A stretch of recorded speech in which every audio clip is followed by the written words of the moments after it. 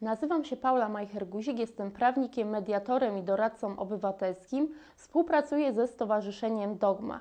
Zapraszam na prelekcję pod tytułem Mediacja w sprawach spadkowych. Najważniejszą kwestią dotyczącą spadku jest to, czy dana osoba będąca spadkobiercą będzie chciała ten spadek przyjąć, odrzucić bądź przyjąć z dobrodziejstwem inwentarza. I tak naprawdę oświadczenie o przyjęciu bądź odrzuceniu spadku spadkobierca, który znajduje się w kręgu spadkobierców ustawowych lub jako spadkobierca testamentowy, musi złożyć albo u notariusza, albo w sądzie i ma na to 6 miesięcy. Jeżeli w przeciągu 6 miesięcy spadkobierca nie odrzuci spadku ani nie przyjmie spadku wprost, oznacza to, że spadkobierca przyjął spadek z dobrodziejstwem inwentarza. Tak naprawdę, jeżeli chodzi o mediację, to mediację w sprawach spadkowych mamy dopiero do czynienia po przyjęciu spadku. I na przykład, jeżeli osoba, e, która mm, odziedziczyła spadek na podstawie testamentu, e, będzie, będzie znajdowała się e, jako osoba, nie, nie będzie znajdowała się jako osoba w kręgu dziedziczenia ustawowego, to wtedy może być jakaś osoba, która będzie miała prawo do zachowku.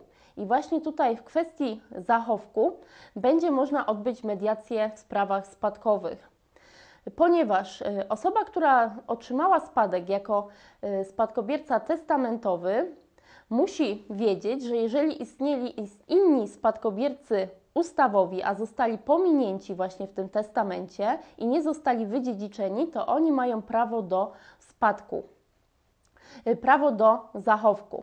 Zachowek ten wynosi dwie trzecie udziału, jeżeli jest osoba niepełnoletnia. Ten udział to jest ta część, która ta osoba by dostała, gdy nie byłoby testamentu.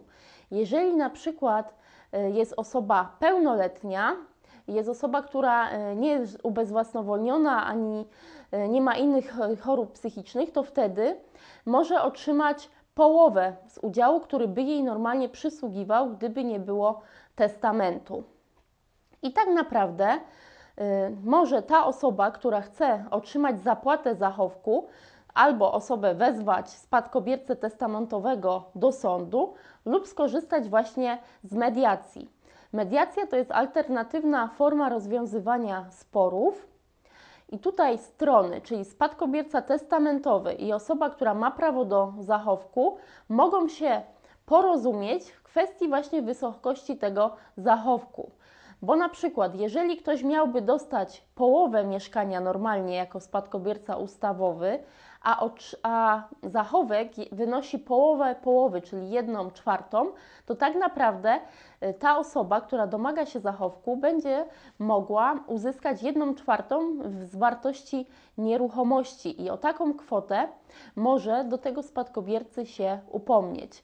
Tylko tutaj y, pozostaje taki problem, jakim jest wycena tej nieruchomości, bo albo strony dogadają się właśnie mediacji i przed mediatorem zawrą ugodę, że jedna strona, właśnie ten spadkobierca testamentowy, wypłaca zachowek wysokości, jakiej strony się porozumiały, lub jeżeli strony się nie dogadują co do wysokości zachowku, no to wtedy tutaj w sądzie będzie powołany biegły jakiś rzeczoznawca majątkowy.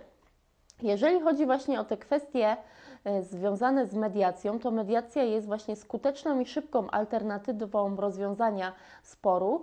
Dzięki temu strony mogą wszelkie konflikty rodzinne i waście rozwiązać przy pomocy bezstronnego mediatora, który może stronom, jeżeli o to poproszą, wskazać jakieś możliwości rozwiązania problemu i także powiedzieć, że Y, więzi rodzinne ustają na lata. Jeżeli aktualnie jest problem z wypłatą jakiegoś zachowku, czy to po ojcu, czy to po dziadku, czy, czy po jakiejś innej osobie, to najważniejsze jest to, żeby strony jednak pamiętały o tym, że są rodziną, a nie o tym, że mogłoby je poróżnić właśnie kwestie finansowe.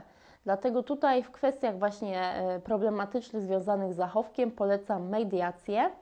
Kolejny taki problem, jeżeli chodzi o właśnie mediację w sprawach spadkowych, może wystąpić wtedy, gdy dużo osób odziedziczyło jakąś jedną na przykład nieruchomość i posiadają tak naprawdę tylko udziały w tej nieruchomości, a nie jest wskazane, e, jak korzystać z tej nieruchomości, komu na przykład należy się pokój na górze albo pokój na dole, kto ma prawo zamieszkiwać w tej nieruchomości, czy tą nieruchomość lepiej sprzedać, czy też na przykład, jeżeli mamy taką nieruchomość, spłacić, jeżeli jeden właśnie ze spadkobierców chciałby być wyłącznym właścicielem. I tutaj kwestie właśnie spadkobrania i kwestie działu spadku mogą być również rozwiązane przy pomocy mediacji. Strony mogą sporządzić ugodę, w której stwierdzą, jak chcą podzielić ten spadek. I właśnie spadek może być podzielony przez podział rzeczy fizycznej, czyli tak jak powiedziałam, ktoś sobie bierze górę nieruchomości, a druga strona konfliktu bierze dół. Na przykład także strony mogą się umówić co do właśnie spłacenia jednej osoby, lub też mogą wspólnie podjąć decyzję o sprzedaży nieruchomości.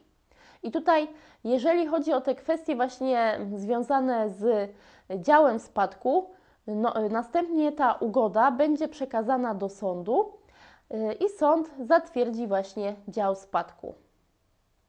Dziękuję bardzo.